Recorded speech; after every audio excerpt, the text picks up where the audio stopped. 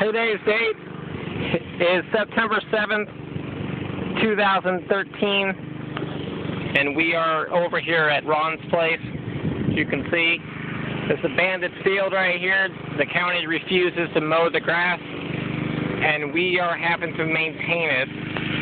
That's Ron Jackson over here in the lawnmower cutting the grass. My name is Kevin Cohen. I'm the photographer and video camera person for the video to give proof of that we are submitting the uh, documentation that the grass did get cut today, September the 8th, 2013, and the time is approximately 6 p.m. tonight. Right here is a couple of samples of what the grass looks like. It's got a lot of video. It's got a lot of um, grass, and this is the people that's in charge of the grass that aren't maintaining their property.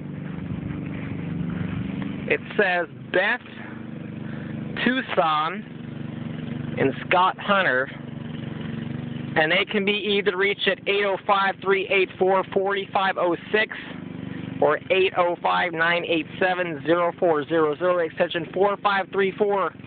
And there was Salem Communications. They're leasing this property out here. And they got some cell towers. And you gotta love this sign, guys. This sign right here speaks for itself. No trespassing, federal licensed facility, active surveillance and it. installation federal authorized, no entry authorization. So,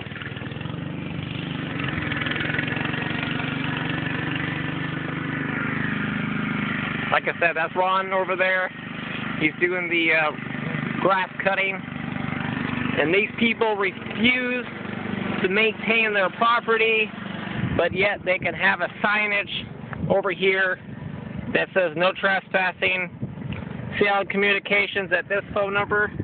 That's 813-639-1903. Like like I said, we're out here at Ron's place, and we're um, maintaining the property that they should be uh, maintaining it. This is what it looks like beforehand. This is what it looks like after. All right. This is Kevin signing off. Have a good day.